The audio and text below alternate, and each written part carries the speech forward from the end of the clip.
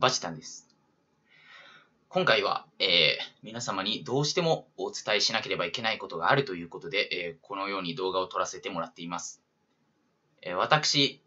えーまあ、正式名称ネオバジル、えー、バジタンは ABC ボックスというネットアカペラグループに所属していましたが、えー、そちらを脱退、えー、その脱退が原因で ABC ボックスが解散となったこと、それによって、その視聴者様に多大なるご迷惑をおかけしたこと、本当に申し訳ございませんでした。えー、並びに、えー、ABC ボックスで今まで、その一緒に作品を作ってきたメンバー、えー、シューアクセル、ホワイトビート、えー、そしてサブメンバーのカーボン、ペンタ、モンジ、この6名、いや5名と、えー、このあったかいんだからやドラゲ内でコラボしていただいた、まあ、たくさんの YouTuber の方々、えー、彼らにその迷惑をおかけした、えー、不快な思いをさせたというところで、えー、申し訳ございませんでした。えー、現在ですね、私はもう ABC ボックスを辞めて、まあ今 ABC ボックスにいたメンバーとはもう、もうほぼこちらからもう縁をもう切っている状態になっています。はい。えー、それに関してはもう数多くの、えー、その、指摘、えー、非難、えー、いただきました。えー、もう正当性はすべてもうそちらにありまして、もうこちらが、えー、完全に非があることは、まあ、周知の通りでして、まあ私もそう思っています。まあそう思っているんですが、まあ私の中ではもうそうすると、えー、決めていて、えー、まあメンバーにもその許可を仰いでいたので、はい。まあ結果こういう形になりました。えー、そして私がその ABC ボックスを辞めて、まあ、今、まあ、個人になった、その、経緯というものがですね、まず2016年1月に、えー、ホワイトビートに、えー、ABC ボックスの実力に自分は追いついていないから辞めたいと言って、えー、まあ前々からそういうことは言ってたし、まあ止めやしないと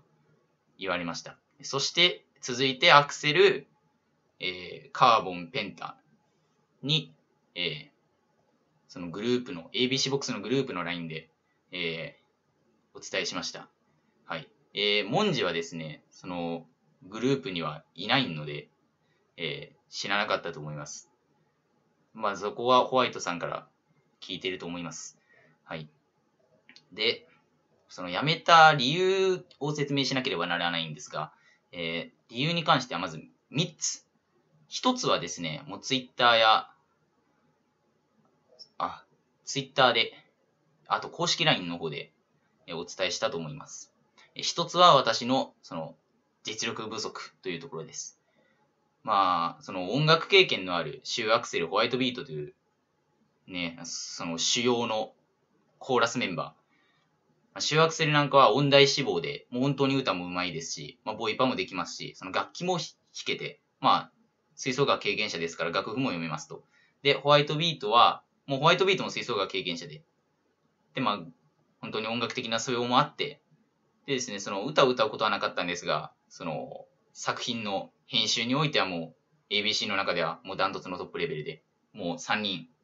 サブメンバー含め6人をまとめ上げていました。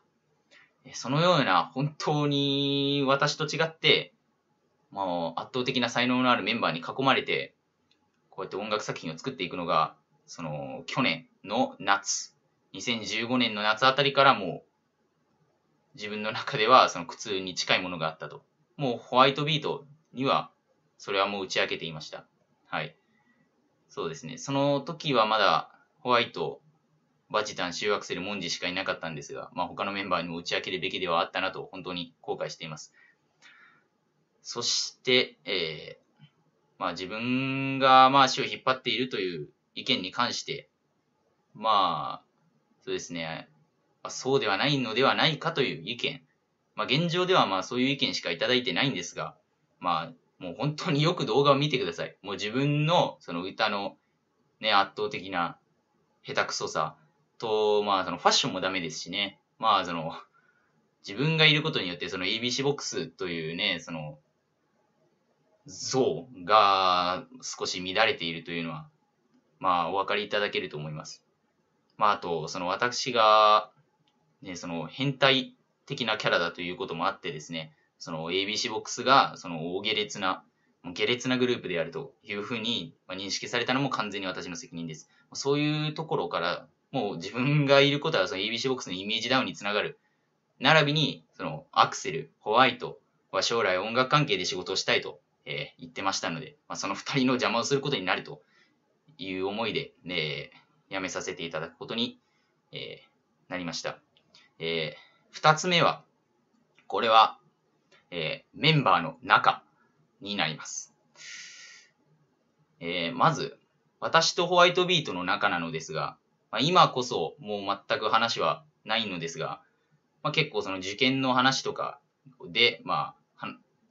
まあ、盛り上がったりすることがあったんですが、まあ、ホワイトは受験生になるんです。2016年で。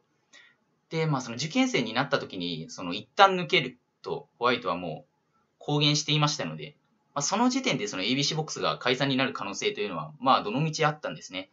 で、まあ、その、まあ、ホワイトとの関係に関しては、まあ、私の中では特に何もなかったんです。えー、まあ、もしホワイトが辞めても自分と、まあ、他のメンバーでやっていけたらいいなと。